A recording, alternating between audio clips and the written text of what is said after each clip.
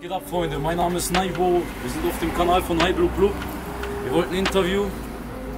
Kommt mal mit ins Café, wir müssen reden. Freunde.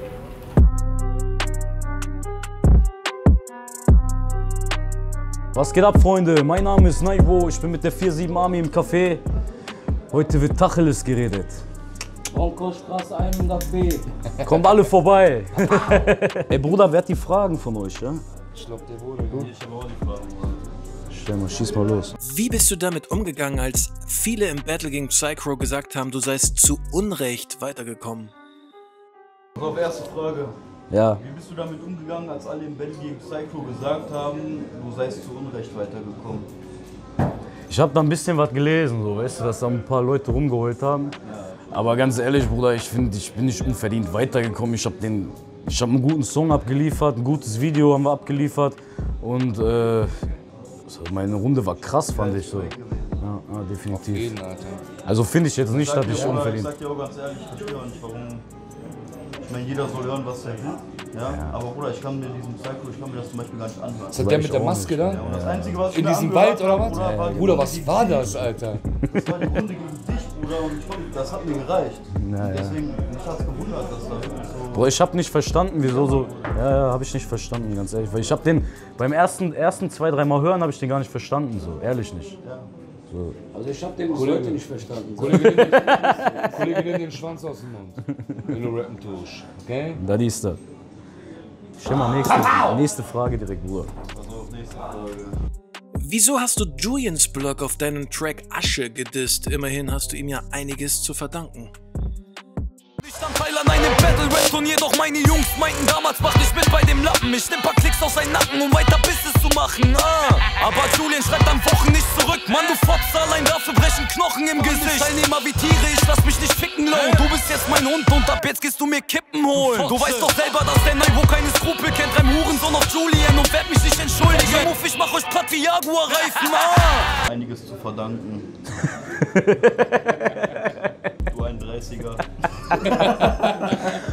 Boah, Bruder, wenn ich jetzt alles auspacken müsste, so, das wär, das wär 30 Minuten lang jetzt. Oder du siehst Analyse hier, Analyse da, die reden schlecht über dich, weil die nicht die Wahrheit wissen, Bruder. Jetzt kannst du einmal die Wahrheit Guck mal, pass sagen. auf. Aber ich möchte erst mal sagen, in diesem Raum bin ich gelogen. Ja, Mann, ey. Das ist so, das ist so. Ne, pass auf, angefangen JMC. Dieser Johnny hat mich gedisst zu der Zeit, äh, als Fuhlmann im Knast war. So, da, so fing das an. Ich, ich denk so, was ist das denn für ein Bastard? Der hat gar nichts mit Rap zu tun, Dicker. Der sitzt im Bau. Wenn der rauskommt, Dicker, der macht sich platt. So ganz einfach so. Weißt du, ich mein, ich schreib Julian, ey, gib mal die Adresse von dem. Der sagt so, ey Dicker, was ist los mit dir? Chill mal deine Base, du musst Rap und Straße trennen. Ich sag, Dicker, erzähl mir nicht, was ich machen muss, so, ne? Und auf jeden Fall äh, sagt er, ja, du kriegst die Chance im JBB, kannst du den battlen, dies und das, ne? Ich sag, ja, alles klar. Machen wir dann so, dann dieses stehen hat auch mehr, mehr Klicks und so, dann kriegt er mehr Reichweite und dies und das. Weil ich habe im JMC ein Hotel genommen, weil ein Kollege mir gesagt hat, hier, du kannst Klicks machen hin und her. Weißt du, Sari damals. Und äh, wurde gedisst, mit Julian geschrieben, der mir gesagt so, nee, geht nicht, dies und das, nee, du, du bist zu sehr Straße und bla. Ich denke gesagt, Dicker, okay, dann lass uns das so regeln. Da meinte der, ja, schick aber eine Qualifikation, damit die Leute nicht denken, ich habe dich einfach so reingeschickt. Kein Problem, ich mache eine Qualifikation. Ich diss diesen Johnny da drin mit in einer Zeile und diese BBM da, weißt du? Alles klar, auf einmal äh, so kriegt man mit, die machen gar nicht damit. So, und der wusste das aber schon längere Zeit. Das heißt, der hätte mir das schon länger sagen können. So, weißt? Ich habe nur mitgemacht, um meine Antwort zu geben. Und auf jeden Fall, ich denke, geschrieben so, was ist los, wie, die machen nicht mit, klar, bla bla. Keine Antwort mehr, so mo wochenlang, monatelang, keine Antwort mehr. Ich sag, ich bin mit Cricks gut. Ich sag, Cricks, Dicker, der schreibt mir nicht mehr dies und das. Sagt er, wie, mir schreibt der. Ich sag, laber doch nicht. Ja doch, Bruder, guck, wir waren am Chillen so. Der sagt, Bruder, guck mal, ich schreib den jetzt. Schreib du den mal gleichzeitig auch. Ich schreib den, bei mir kommt nichts. Der schreibt, bei, bei Cricks kommt zwei Minuten später eine Nachricht. Yo, Bruder, alles klar und so, dies und das. Quicks und also Quicks mit ihm geschrieben, gesagt, ey Bruder, äh, bla bla, Naivo und ich sind Kollegen, du weißt das ja und so, lass uns nicht aufeinandertreffen. Nee, ich glaube, da war kurz vorm Start vom JBB. Er so, ja, alles klar und so, bla bla. Auf einmal wurde ein Turnierbaum gewechselt irgendwie. Und ähm, da, dann stand da auf einmal, wir müssen zwei Runden betteln und dann würden Quicks und ich aufeinandertreffen. Obwohl vorher hieß, nee, passiert nicht, dies und das. Und dann hat er angeblich wohl eine Nachricht noch geschickt, so dass das möglicherweise sein kann, dass wir aufeinandertreffen. Ist ja schön und gut. Wir haben uns direkt vorbereitet. Quicks und ich, wir treffen in zwei Runden aufeinander, alleine wegen dieser Moves. Was, wie, wie, was denkt der, wer der ist, dass der mit mir so umgehen kann? So? Oder mit, generell mit den Teilnehmern, der hat jeden wie ein Hund behandelt. So, ne?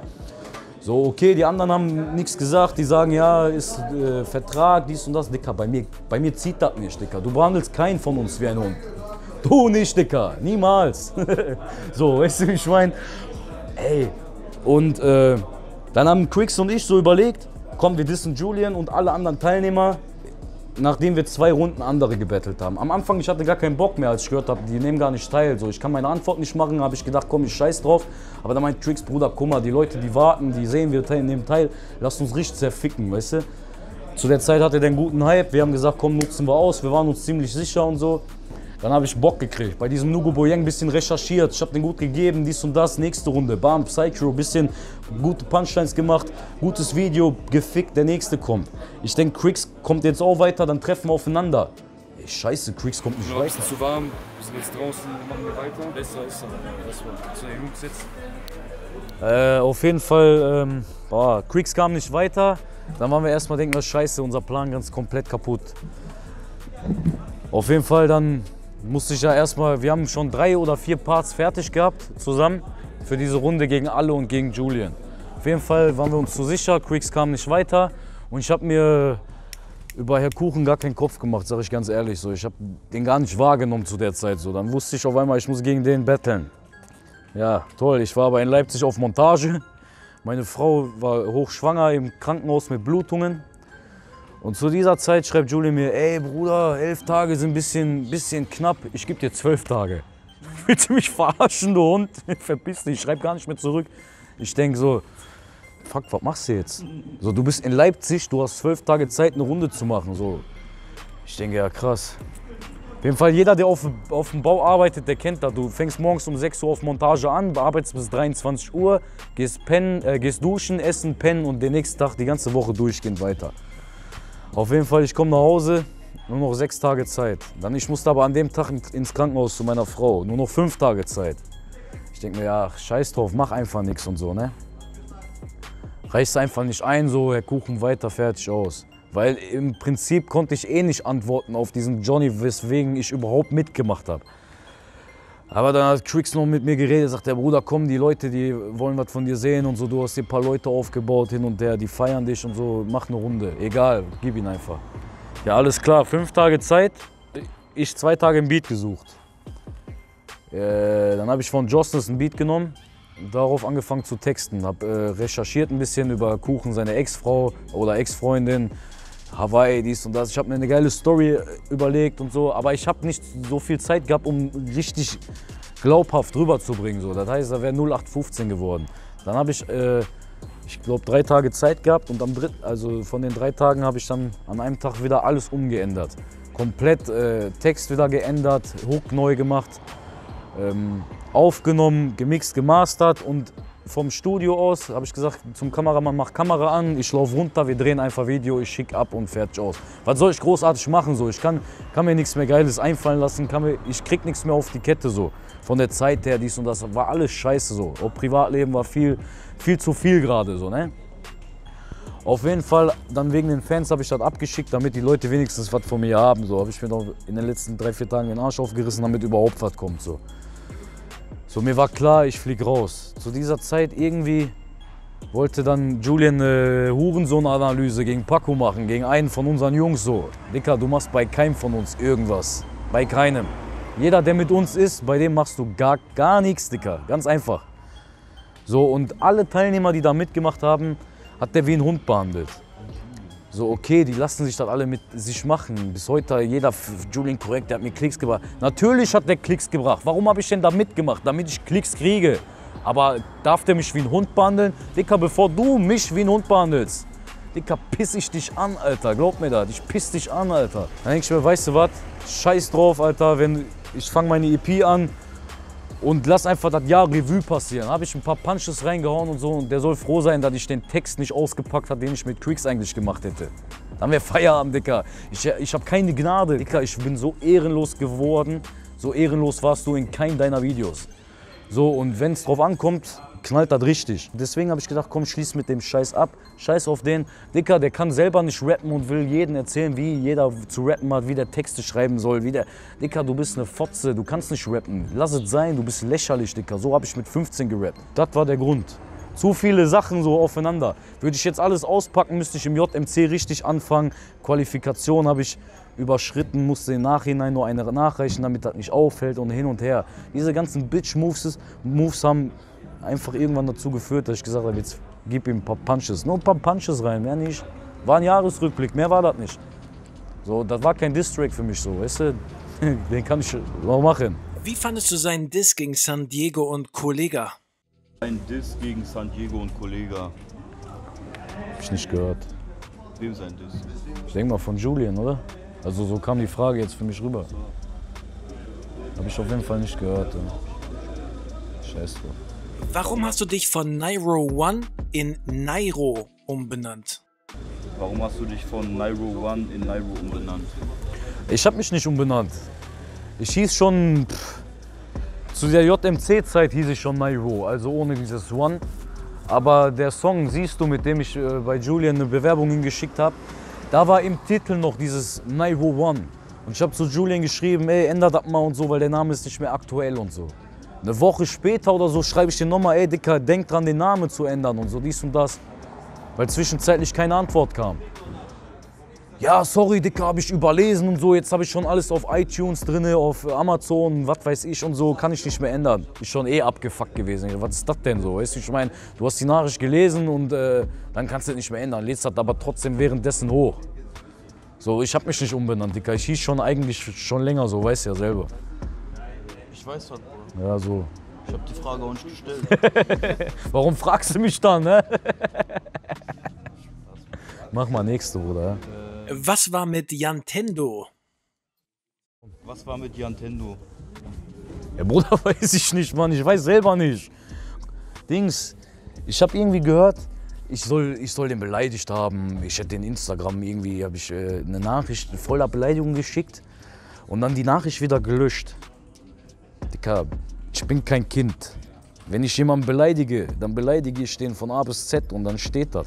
So dann, wenn ich dich beleidigt haben sollte, was ich meiner Meinung nach nicht weiß, so dann würde ich dich bitten, dann würde ich dich vom ganzen Herzen bitten, jetzt Screenshots auszupacken, Dicker, weil du hängst den ganzen Tag auch in deinem Zimmer, nur vom PC oder vom Laptop oder vom Handy oder vom Tablet. So und machst den ganzen Tag nichts anderes, außer dich über andere Leute zu informieren. So und wenn gerade ein JBB-Teilnehmer, über das du berichtest, warum dein Kanal überhaupt existiert. Aber pass auf jetzt, warte, ich hol, ich hol, ich hol mal was raus. Du musst ja Screenshots davon haben, weil du machst ja von allen Screenshots, du bist ja YouTuber. Digga, ich bin kein YouTuber und ich hol jetzt was raus und fick dich eben. Kurz weg, Alter. So, guck mal jetzt, Bruder.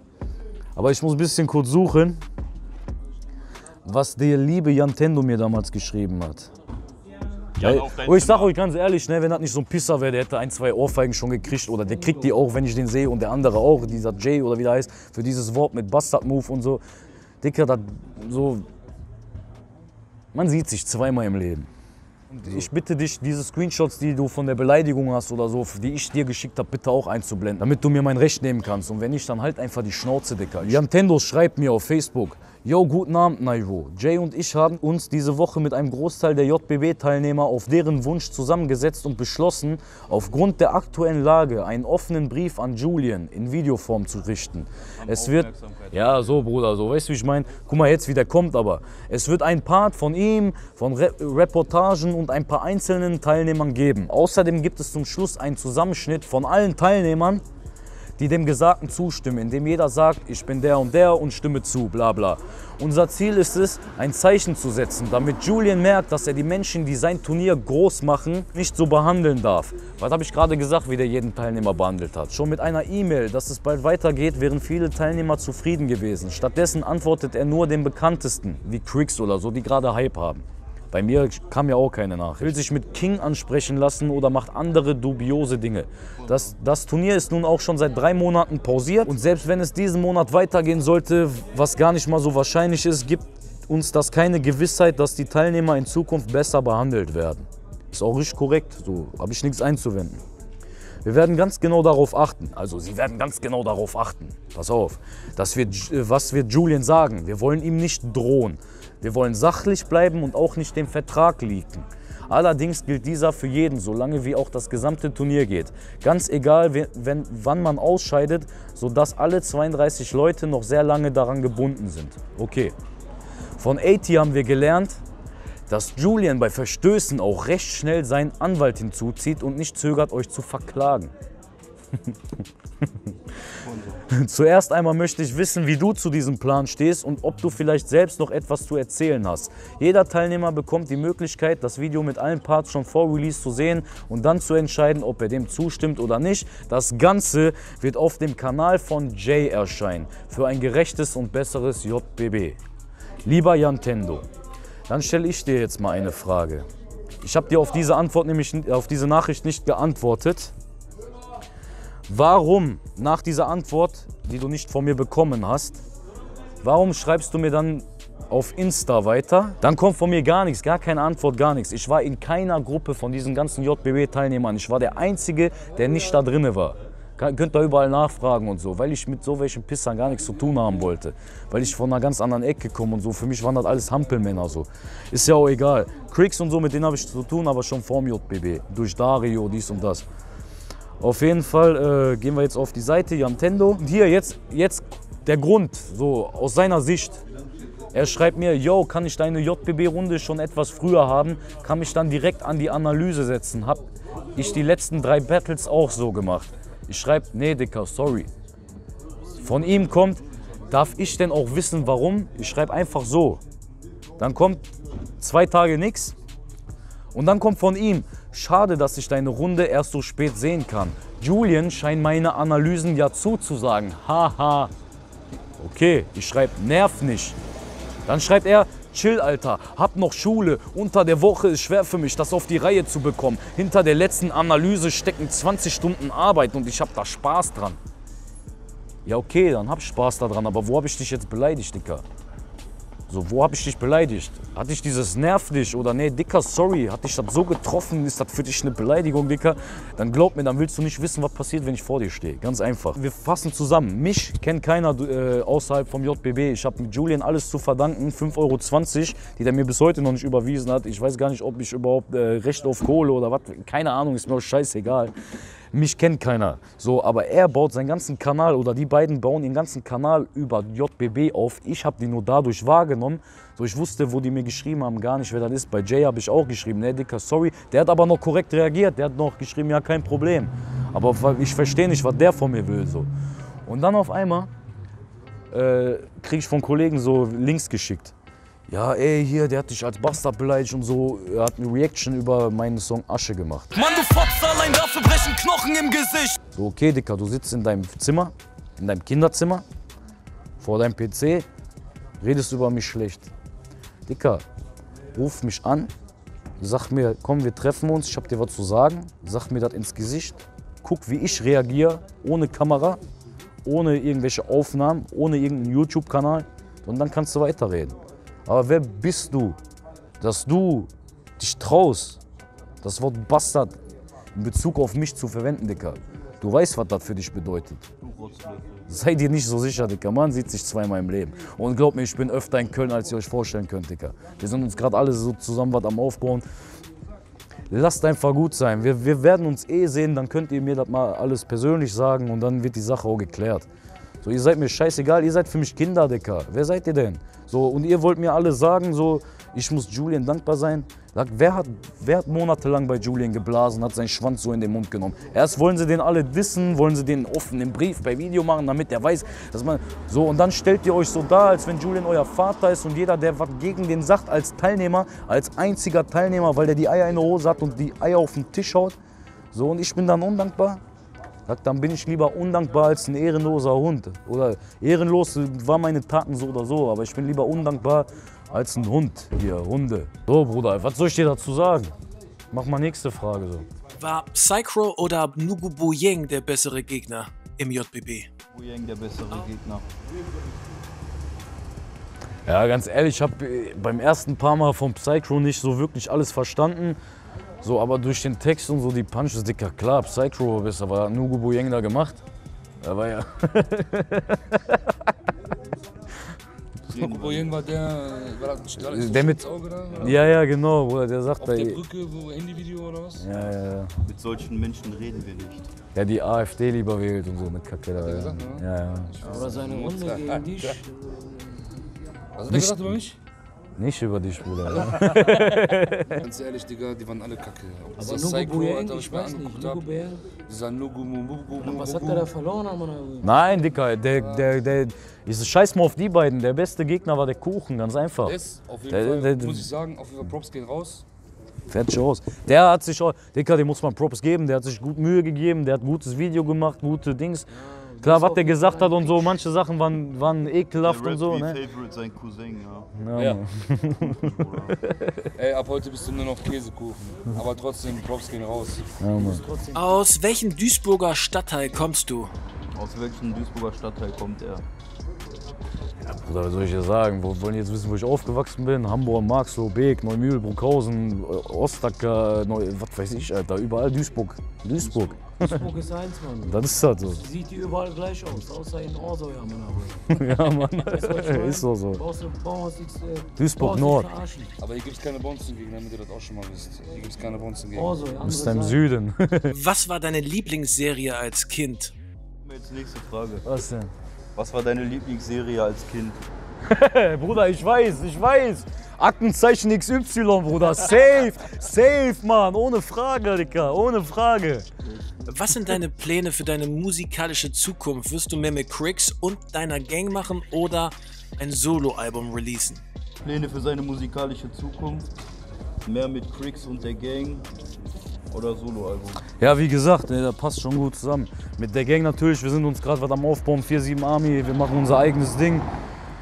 Wollen unseren eigenen Weg gehen, auf keinen mehr irgendwie Rücksicht nehmen. Wir machen alles platt, was uns in den Weg kommt. So, das ist, das ist das Ziel, also das ist die Vision.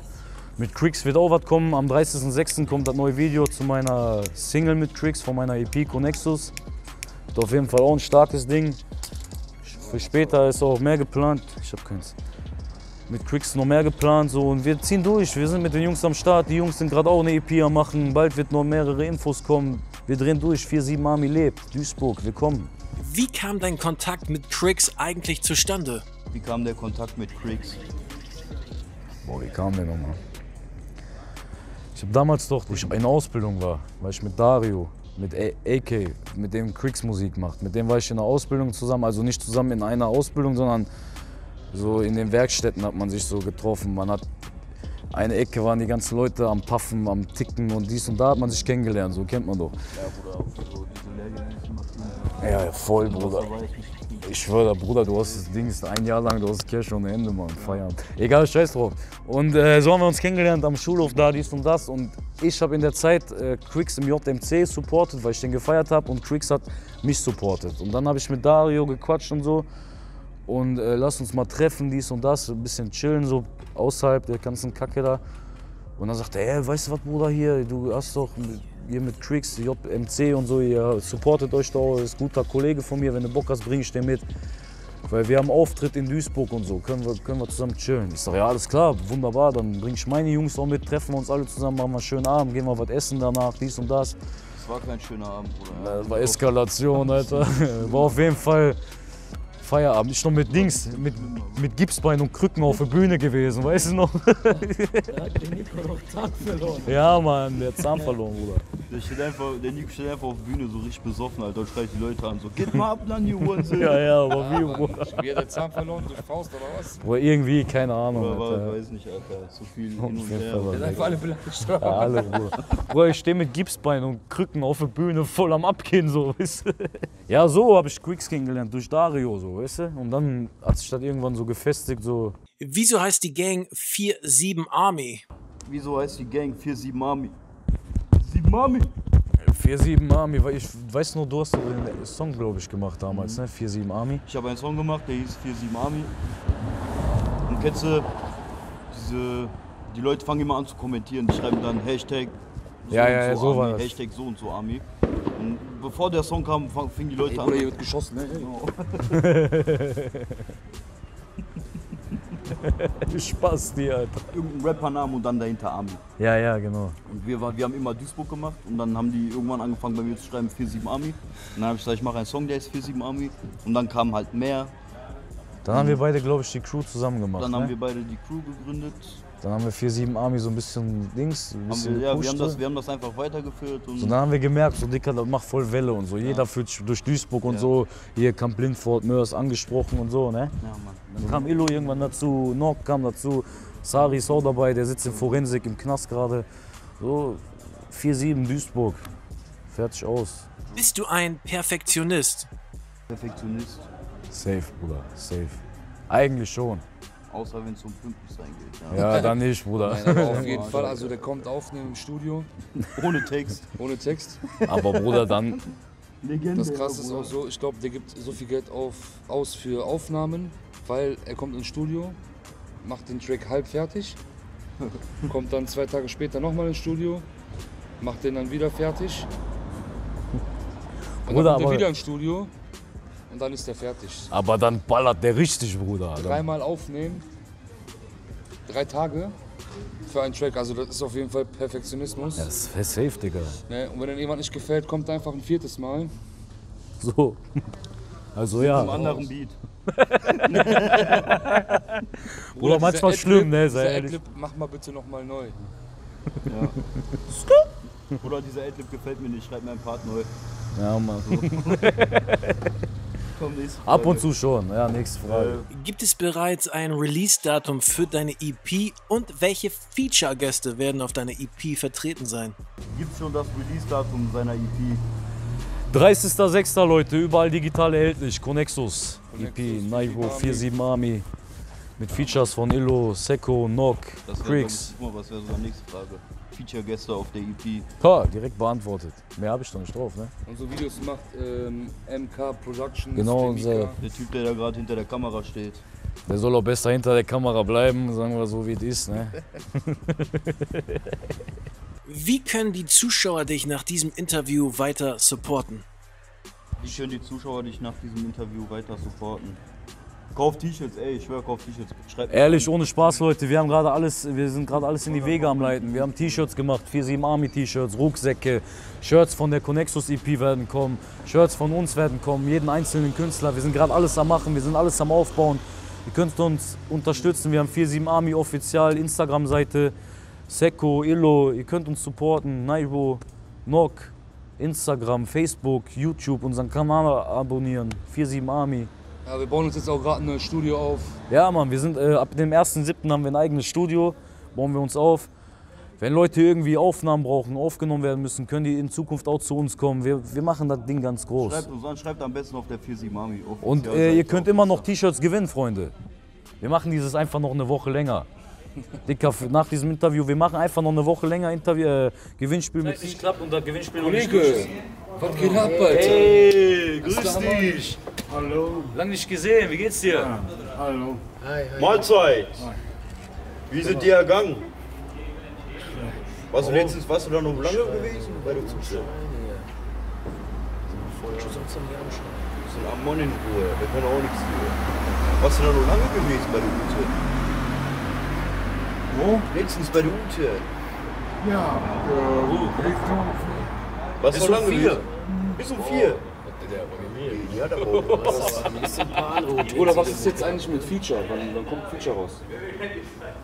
Du hast ja aufgenommen, krassen 16er, ich bin nicht mitgekommen und so. ja. Ja, ich weiß nicht, was das soll. Oder ich habe auch mal versucht, mit dem ein Feature zu machen. Oder der macht fünf silbige Reime, auf einmal macht man einen Reim auf Kanarienvogel. Krass. Das ist Das ist Hip-Hop. Spaß beiseite, Chef. Schöner Abbau. Ja, Du bist der Realste. Komm gut nach Hause. Wenn irgendwas ist, wenn irgendwas ist, sag Bescheid, ruf an. mach. Ciao, Chef, wir sehen uns. Grüß die Gute. Pass auf, ciao, auf, ne? Haben wir noch Fragen? Letzte Worte. Letzte Worte. Ja, grüß mal ein paar, auf jeden Fall ein paar Jungs. Grüßen. Digga, ich soll letzte Worte sagen, Ja, nicht du, grüß, Alter. grüß Ja. mal ein paar Jungs, habe ich gesagt. Okay. Grüß mal ein paar Jungs. Grüß du, Bruder, grüß du einfach. Komm, grüße- wer hat das letzte Wort? Ich grüße- Naivo Connexus 47 Army, willkommen. Gib die letzte Worte, Bruder, wir müssen rein. Meine Felgen. Walla war nicht korrekt. Ihr müsst jetzt leider im Keller warten. Winter hole ich euch wieder raus. Wen willst du noch grüßen? Guck mal, Leute, ich weiß jetzt nicht, ob ich irgendwie irgendwelche Sachen nicht richtig beantwortet habe, weil im Kopf so viele zeitliche Angaben und so. Ich weiß auch nicht immer alles. So, aber wenn ihr irgendwelche Fragen noch habt, schreibt mir einfach, wenn irgendwas unklar ist und so. So, aber ich hoffe, ich konnte euch jetzt ein bisschen Klarheit verschaffen. So, 4-7 Army, willkommen, wir machen weiter, wir hören nicht auf. Fängt gerade erst alles an. Und dann mein Friseur, ein kleiner Wichser, Alter. Man, werd ich nicht vergessen, Alter. Ich, ich gehe nicht ins Detail, aber wir haben Streit, Alter. Also ich wollte noch jemanden grüßen. Und zwar ähm, die Frau, die mich heute gefragt hat nach dem Ausweis, wenn ich Kippen gekauft habe. Ich weiß nicht, ob ich aussehe wie zwölf.